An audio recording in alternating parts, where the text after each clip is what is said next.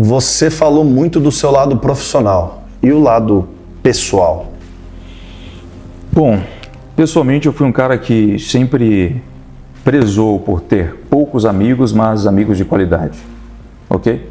Há poucas pessoas nesse mundo que eu posso chamar de amigos, literalmente.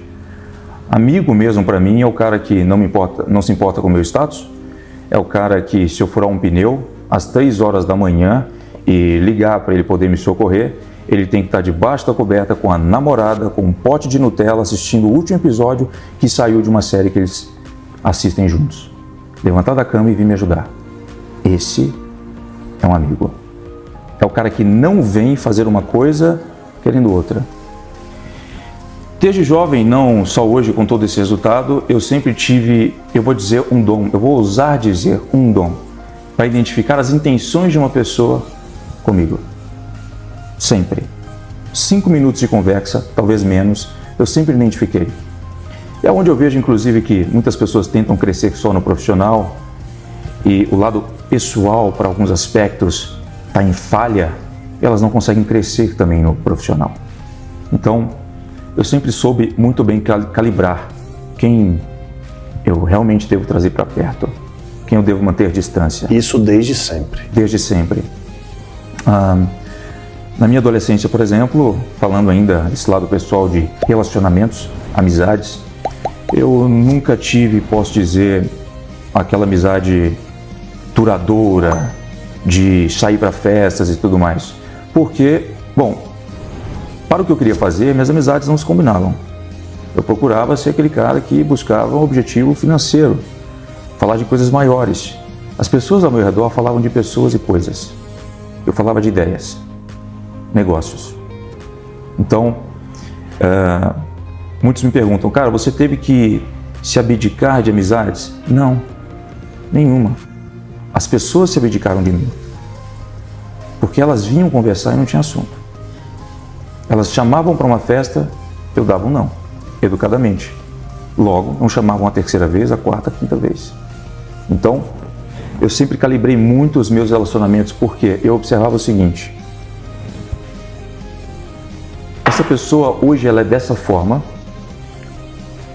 por conta das amizades que ela tem. Eu consigo observar as amizades, as pessoas com as quais ela fala.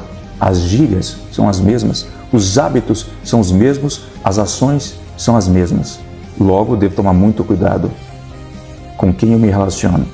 Para, para, para tudo. Eu sei que é chato te interromper, mas eu criei esse canal com o intuito de guiar pessoas na direção certa para a liberdade financeira usando a internet. Eu trago conteúdo apenas de quem vive do marketing digital raiz, assim como o Finch, o Kaique, o Italo e muitos outros que fizeram fortunas com PLR. Também já faturo alguns dígitos por mês com PLR. E para continuar entregando conteúdos milionários para vocês, decidi disponibilizar diversas estruturas PLR já validadas e testadas para você alterar como desejar. São páginas prontas 100% editáveis, e-books, VSL, páginas de upsell, páginas de obrigado e muito mais. Para ter acesso é só clicar no link da descrição.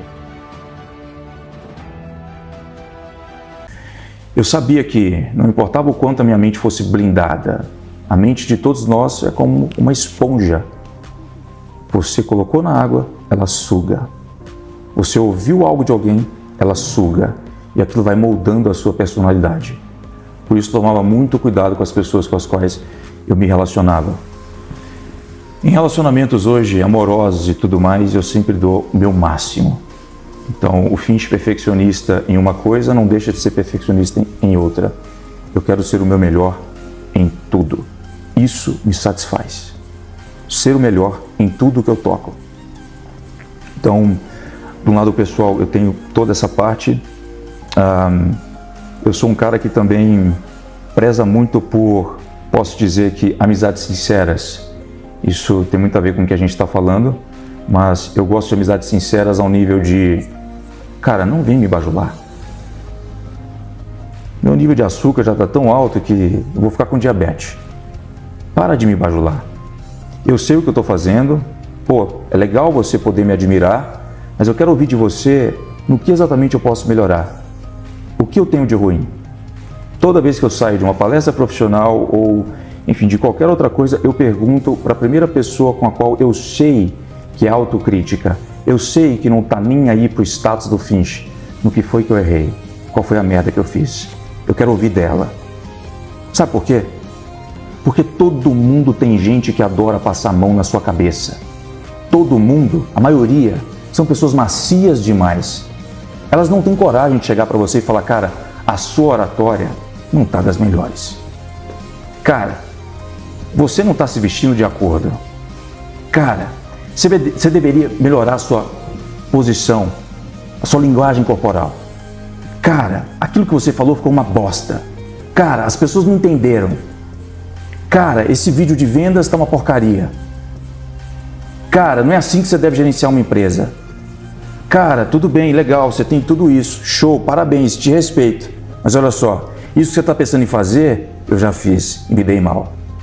Muda o caminho. Eu gosto de gente assim. Eu não cresci acreditando em palavras doces. Eu sempre adorei aquelas pessoas que chegavam perto de mim e eram absolutamente sinceras. Aí eu entendi uma coisa. Cara, é muito difícil você ter isso. É muito difícil ter isso de alguém.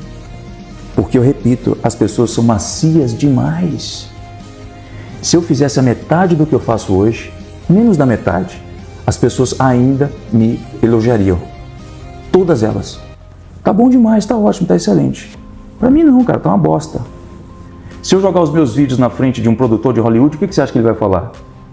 Eu acho que ele não vai ter palavras, ele vai dar risada. Olha que amador, cara. o que, que esses caras estão fazendo? Olha o que a gente tem aqui, é outro nível. Eu quero chegar no seu nível, filha da puta. Eu vou chegar lá. Só me dê tempo.